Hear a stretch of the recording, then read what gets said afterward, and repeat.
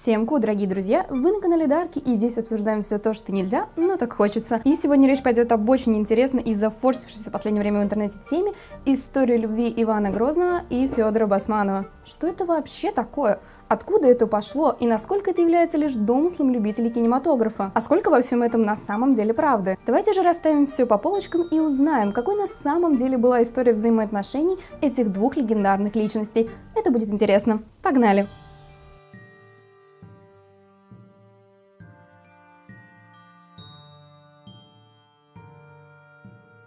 Итак, для тех, кто вообще в танке, кто такой Федор Басманов и почему его предполагаемое соитие с Иваном IV так сильно привлекло к себе внимание? Начнем с истоков. В 1991 году на экраны выходит фильм «Царь Иван Грозный». Вот эта всем известная мордашка из ТикТока как раз таки оттуда. Кто это такой? Это актер Дмитрий Писаренко в образе Федора Басманова. А это Иван Грозный. А это тоже кадры из этого фильма. Не наводят ли на сомнения интересные отсылки? Вроде бы исторический русский фильм про великого князя всея Руси. Но что же это, нелепые вставки, которые не должны были быть столь заметны простому обывателю? Или кто же все-таки такой Басманов для Грозного? Умелый воин, опричник или царский любовник? Где кончается клевета и начинается история? Давайте разбираться. Федор Басманов – это сын воеводы Алексея Басманова.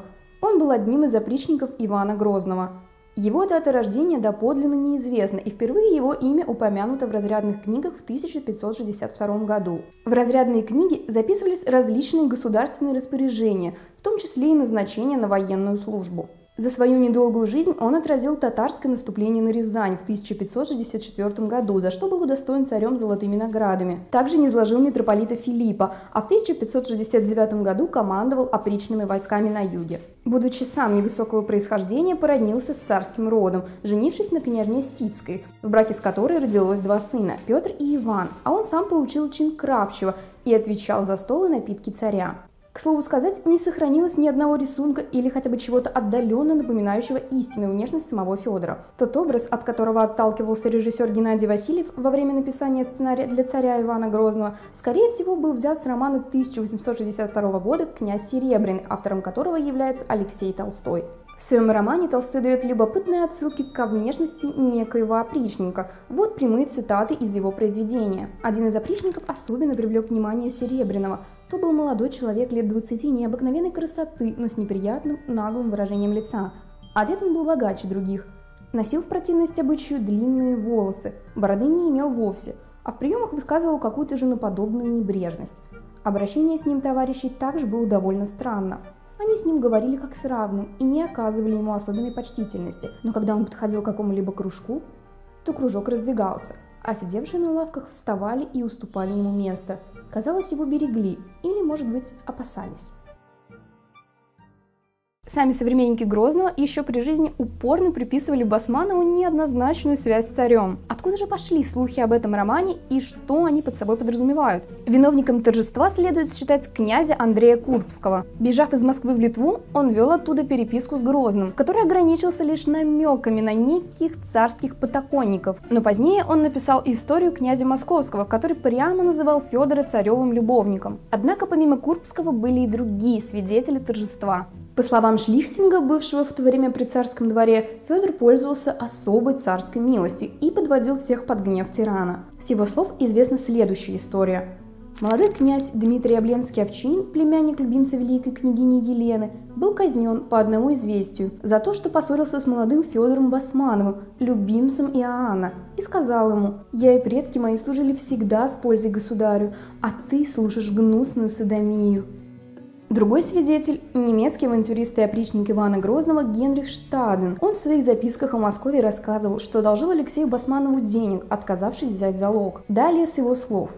Узнав об этом, его сын Федор, тот самый, с которым развратничал великий князь и в годы опричнины был первым воеводой против крымского царя, обратился ко мне дружески. Поражает то единодушие, с которым эта троица упорно записывала Федора в любовнике к царю.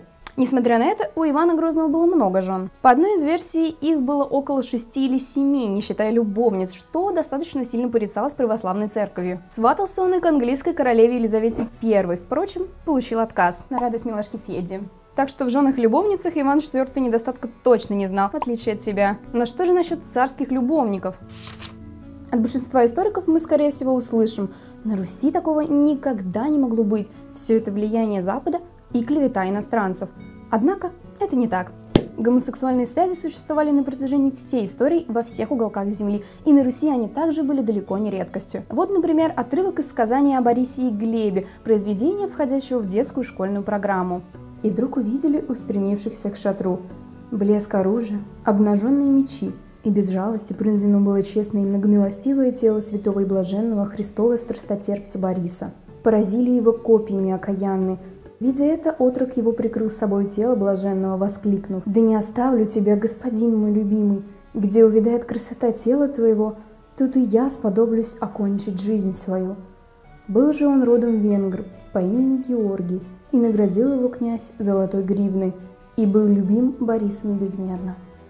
И что, тоже клевета? Садомию наравне с прочими грехами активно порицала православная церковь в лице протопопа Сильвестра, который долгое время был наставником Ивана Васильевича.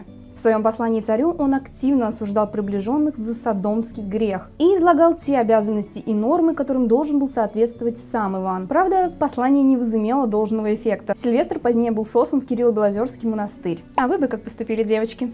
Но вернемся к Федору. Как же закончилась его история? По сообщению того же Курбского, когда отец Федора Алексей Басманов впал в опалу, то Федор собственноручно его убил, чтобы доказать свою верность царю. Однако его самого от смерти это не спасло. Ряд историков полагают, что Федор не был казнен, а был сослан в ссылку в Белоозеро. В пользу этой версии говорит то, что имя Федор не упоминается в синодике опальных в отличие от имен его отца и старшего брата Петра. Синодик опальных был составлен по приказу Ивана Грозного под конец его жизни с целью поминовения людей, казненных в годы его правления. Позднее академик Веселовский в одном из царских документов нашел запись о том, что по душе Федора царь пожертвовал 100 рублей, что по тем временам было весьма внушительной суммой.